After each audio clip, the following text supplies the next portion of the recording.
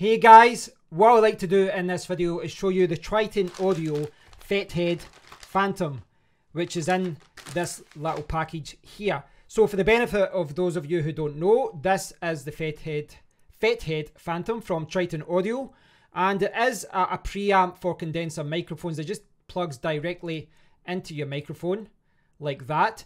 And this one passes through phantom power. So you need 48 volts of phantom power, but it also increases your gain. Now it doesn't say it here, but this actually increases gain by 18 decibels. Now you'll see a lot of these uh, little microphone adapters from Triton Audio. The, the most popular one is this one. This is the one that's used uh, for dynamic microphones, and it's the one that I've got right here. And this one provides 27 decibels of clean gain. Now you can use a Cloudlifter, that's an alternative product. It works a little bit differently, but essentially does the same thing as far as providing extra gain. But I've went for the Fet Head. I've been using this for a year or two, and yeah, it's been absolutely amazing. But they do provide lots of different versions of this. There's one there with a filter. There's one that's designed for ribbon microphones, etc. I picked up mine here in the UK for £61, but it's £5 delivery, so it was about £66, and I got it from Studio Spares. So I paid for this the other day, and I paid for ne- uh, I paid for the standard delivery at £4.99 or whatever it was, but they actually delivered it today after one day. So yeah, very pleased by that. Um, they were very quick for uh, with delivering that, so we'd use them again. Um, a little bit more expensive in the USA though, because it is made in Europe. This product. Now, um, you can see it here, low noise, Class A JFET amplifier, balanced output with high headroom. Essentially though, what this is, is just a way to increase the gain that you have for your microphones. The one I've got here, this one here, this, this is the, the FET head, the one, the original I guess, and it provides 27 decibels of gain. This is a very popular adapter for this microphone. This is the Shure SM7B. It's become very popular over the years. In the past, it was known for being used for recording Thriller by Michael Jackson, but it's been one of the most popular uh, microphones for, for podcasts as well. I've been using this microphone for a long time, but it's it's very hungry, very very hungry. I have quite a good audio interface, the Audient ID22. It's not a cheap audio interface. You're talking about 350, 400 in the UK. But one of the downsides, I guess, is that only provides 60 decibels of gain. Now, that's not too bad, actually. There's a lot of um, audio interfaces out there that only provide 45 or 50 or 55 decibels of gain. This provides two mic uh, pre- preamps and it's got 60 decibels of gain. But there are alternatives out there, more expensive devices, more professional devices that provide 74 decibels of gain. But I found that with the Shure 7, uh, SM7B, if I don't use the Fethead, it's just too quiet. And that's what I want to demonstrate in this video. This will be a longish video and I, I, do recommend using headphones or you know good speakers to listen to this because I will be doing some audio tests to demonstrate what this is all about. Um, now the reason I've got this here is for the Shure SM7B, but the reason I've got the Phantom version is that I bought the Sennheiser 416. So a few days ago I did a live stream I bought a Sennheiser 416 shotgun microphone and I bought it second hand. In that live stream, I tested it to see if it was real, and it is. But I really do like this microphone. I think it's fantastic. I've got it sitting over there just now, just behind the microphone. And if you want, I can kind of show you where it is. See, just poking out there. So that's where the microphone is just now. Hidden out the way behind the camera. Now, I like the microphone. I really do like it. But one of the things that I did notice is that well, it wasn't loud enough. It wasn't loud enough. Hence why I have bought the Fethead Phantom. So before I uh, show you the Fethead Phantom, I just want to demonstrate what my problem is and what I'm trying to resolve. So if I show you this, this is my audio interface panel showing you uh, my microphone inputs. And if you look at the, the left and right one, the left and right one here, the left one is the one that's live, which is this. This is the Shure SM7B. This is the one that is being used right now. But if I bring this up, push this away, now I am using my Sennheiser 416 and I'm using it from here. This is the microphone and I'm going to do something very annoying here but you can see that is the microphone that is being used. This is the one that's live. Now the position it's in there is actually quite good. It's, it's off camera And if I turn this way, you can still hear me. I'm still kind of in its in its range. Um, but I think it's a little bit too quiet. Now, the setting that I have it just now, I'm going to turn it up, and I do apologise for the extra noise. I might clip a little bit. Now, it's at a better level, a little bit higher. But can you hear that? There is a large noise floor right now. You know, there's a lot of kind of background noise there that you can hear. And that is what I'm trying to fix with the Phantom, uh, the Fethead Phantom. I'm trying to address that issue by reducing the level on my audio interface. Ideally, what I want to do, in fact, I can do it through the panel here. Ideally, what I want to do is bring it down to a level where you can't hear that kind of background hiss, the, the noise floor. The problem is right now, well, you can see it, you can hear it, you can hear that. You know, I really want to be bouncing around the yellow mark, but when I do that, the noise floor is really, really high. And that's what I'm trying to address with this product. So I'm going to bring this down, bring this one back up, bring this microphone along. You can hear me again properly. And you can see that I've now turned off the Sennheiser 416. I've muted it effectively. That's what I've done. So, what I'd like to do at this point is show you the Fethead Phantom. You know what the problem is now. You know the problem that I'm trying to address. Um, and this is it here. Comes in this little tube. And this, I'm hoping, is going to help me turn the, the Sennheiser 416 into from a good mic to a great mic. Because right now, it's a good microphone, but I'd have to hold that shotgun microphone really right up to my face to get a really good sound out of it. Now, that is not a criticism of that microphone, that's a criticism of my audio interface not having enough gain. So, this is the tube to be honest, I'm not a big, massive fan of uh, this packaging. It, was the same with the one that came with this because after you open this up, yeah, it's not ideal as far as storing it. But I mean, it's a small device, so maybe maybe this is the way you should do it. I don't know. But this is the Fethead Phantom. Now, what I will say, uh, and this is a criticism that a lot of other people have said, is that this looks identical to the original one. And the reason that can be a problem is that if you put this one into a dynamic microphone or a ribbon microphone, you could cause some damage. You could cause some damage. So be careful about this. I don't care what you do, but do something to help you remind yourself that this is the Phantom. It does say Phantom on there, but if you actually look at them, they're, they're very, very similar. Put a red stick around it, put a red band around it. Make sure you know that this is the one for condenser microphones. So let's jump over to my overhead camera and I'll zoom down a little bit. You guys can get my keyboard out the way. So, let's get this open. It's like opening a, a tube of Smarties. Right. Let's get this open.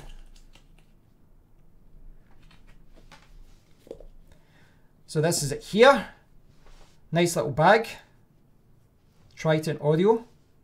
Quite good if you're you're um, traveling with it. And this is the Fethead Phantom. So I'm going to zoom in a little bit.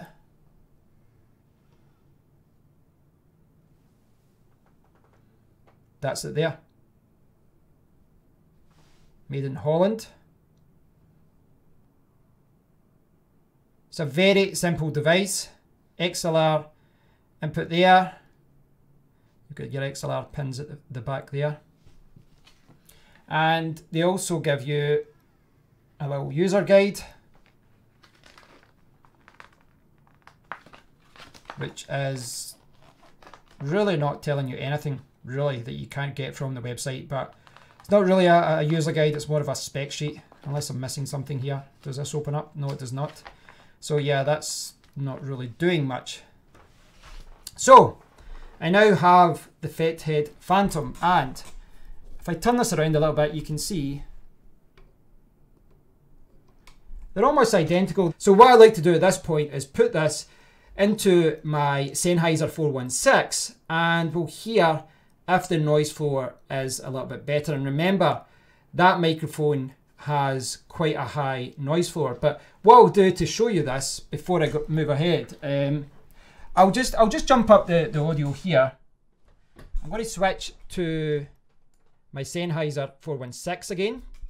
So now you're listening to the Sennheiser 416 and maybe a little bit too quiet.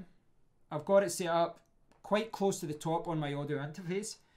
But now we're going to see if we can improve the quality of this sound where I'm sitting right now using the Fethead Phantom. So the Triton Audio Fethead Phantom is now attached to my shotgun microphone, my Sennheiser 416, and you can't see it. It is just out of frame. There it's there. And I've got it kind of pointing down to me a little bit. Now I do have to experiment a little bit with the position. I might put it up higher up. I might get a different shock mount because the one I've got is pretty bad. But right away I can tell that the audio levels are higher. The gain level is higher because I've turned down the gain about 15 decibels or so. So if I was using this microphone, I probably wouldn't have to use headphones, which is what I'd normally use with my Shure SM7B. But using this microphone, I could just talk to the, the camera like this and have the microphone there. And I've got it in a position where if I'm turning around and looking at the webcam, everything would be okay. But what we like to do is show you the levels. So I'll bring back up my audio interface and you can see where the audio levels are dancing around. If I bring over my Shure SM7B, this is still muted, but what I'm going to do is put this back on. So the Shure SM7B is now being recorded. You're probably hearing me in stereo, but the reason I'm showing you this is look at the first two channels. The first channel is the Shure SM7B. The second channel is the Sennheiser 416 shotgun microphone. And there's a slight difference here, but it looks like both microphones are dancing around at the same level, which is what I want. I want the same level of audio, but I want it from the Sennheiser rather than the Shure SM7B.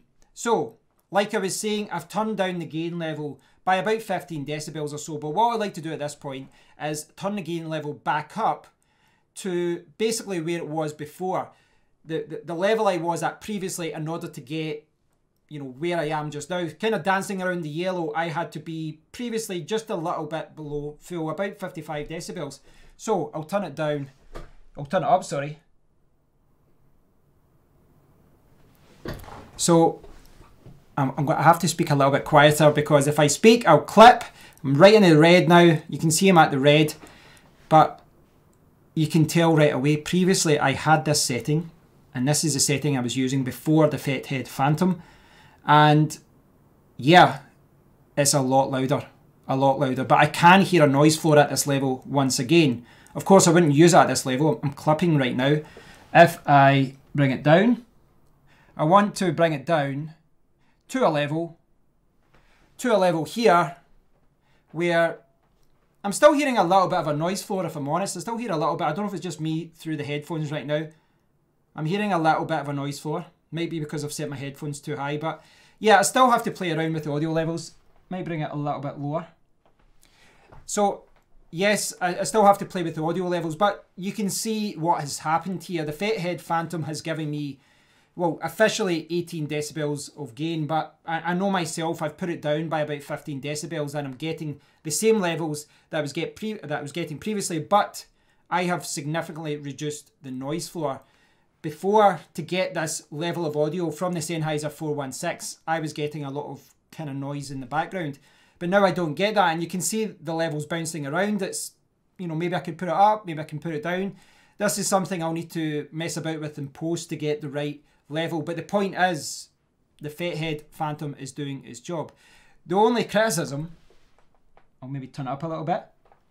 The only criticism I would give is that I would have liked more. I would have liked more gain, more audio level, but that is simply not possible. The the Shure SM7B, which is still muted right now, this provides 27 decibels of gain to my Shure SM7B. But it is important to remember that the Fethead Phantom with this tiny, tiny, um, sorry, I'll, I'll, drop the window there, with this tiny little user manual. The Fethead Phantom provides around 18 decibels of gain, but it's also allowing the 48 volts of phantom power to get through to the microphone because my Sennheiser, my boom shotgun microphone here does require phantom power. Here the phantom power is being used solely to provide the 27 decibels of gain, but with the Phantom, it's allowing the, the Phantom power to pass through to the microphone to power it. Now, am not saying that my Sennheiser 416 is set up perfectly here. It's not. I need to buy a different shock mount. I probably need to put the microphone in a different position, maybe higher up. Need to keep out the frame, but I do need to put it in a different position. Try and do a lot of tests. But this is one of those things that even if I had to upgrade and get a better audio uh, interface, a better audio recorder, something that did have higher um, microphone preamps. You know, if I jump up to something like the Zoom F8 or something like the MixPre kind of range sound devices, uh, a sound devices audio recorder, if I jump up to something like that that has 74 decibels of microphone gain, I might not have to use this, but I still have it, which means that I can use this to drop the noise floor even more. But I can also use this with other uh, audio interfaces and devices and all that that I have. For example, I have the Zoom U24. The, uh, the microphone preamps in that, they're not the best. They're certainly not the strongest, which is why I, I, you need to use something like this to boost the signal. So I'm not saying that everyone should run out here and buy this. I'm not saying that. It's £65 though in the UK. I think that this is a fantastic little thing to have. I didn't even think too much uh, about buying this because I've been using the original Fethead for a few years. I know how good this is. I know how useful it is. And I know that if I do buy another audio interface that doesn't require the Fethead, then I'm still going to keep the Fethead. It's one of those things that you just keep in your kit. If you don't use it just now, you'll use it later and you'll always have it. There will be a time when a particular mic, a dynamic mic, or in this case, a condenser microphone doesn't have enough gain and this is where something like a Fethead or a Cloudlifter becomes very, very useful. But of course, the Cloudlifter is only really being used for dynamic microphones. Fethead or Triton Audio design ones for ribbon microphones. They've got ones that, you know, use a filter and they've got a lot of different versions of it. The two most popular ones, of course, are the, the, the regular Fethead, the one that I've got back there. Um, which, and again, just to remind you guys, that microphone is now muted. But um, yes, the Phantom is also quite popular as well. But remember, this looks almost identical to the original effect Fethead, but do not use this with something like a ribbon mic. You can cause a lot of damage if you if you pass that phantom power onto a ribbon microphone. I saw a lot of comments from people getting annoyed because they said it's too easy to get them mixed up put something around it, put a big sticker around it, do what you have to do. These things, this you know, the logo and all that, over time, the logo, especially if you got it in a stand like that, it will scrape off. But these things are built to last. Don't worry about that. It still, it still will do the job. So I hope you've enjoyed this look at the Fethead Phantom. It looks like a, a tube of mints. This is one of those things that I think that if you're in a position like me where you've got an audio interface and it doesn't have enough gain from the built-in microphone preamps. This is a very quick and a very simple solution to giving yourself more gain. Now, of course, down the line, we all want to get better audio recorders, bet better audio interfaces, better mic preamps. But until then, you can buy something like this. But as I was saying, even if you do upgrade, even if you do upgrade your main audio recorder and you do get better microphone preamps, this is not something I would sell. This is something you should keep in your kit and just have it there. It's a very, very useful thing to have. The only downside, I guess, is that it only works with one microphone. It's not like you can use this for four microphones. You'd have to buy four different ones. But I'll leave eh, a, a link to the official website on tritonaudio.com. Check out the sales page. Read more about it. Do your research as always, guys. Don't just buy something without doing your research. But hopefully, I've shown you guys, I've, I've demonstrated what this is all about and what it can be used for. If you're a, a you know, a, you're recording audio for podcasts, if you're recording audio for your band, if you're doing YouTube, whatever you're doing, if you're recording uh, from a microphone and you don't feel that you're getting enough power to your condenser microphone or the original one using, uh, you know, via a dynamic microphone, that's the word. But whatever microphone that you're using, if you're not getting enough gain, if it's too quiet or if the noise floor is too high when you do put it to a, an appropriate level, then yeah, the Fethead can help you out. Thanks for watching guys, I hope you've enjoyed this video. I do not claim to be an expert on audio, but if you've got any questions about the original Fethead or the Fethead Phantom, please do leave a comment below and I'll do my best to answer you. If I can't help you, I'll try and point you in the right direction. I am still recording through my Sennheiser, through the Fethead Phantom, I apologise for the audio levels going up and down, but I don't want to mess about with the audio. I want you guys to hear the good and the bad. And yeah, I'm not going to be changing the audio, processing it, or doing anything like that. What you hear is what you get. Uh, what you get. So thanks for watching, guys. This has been the Fethead Phantom, and I'll speak to you all very soon. Take care.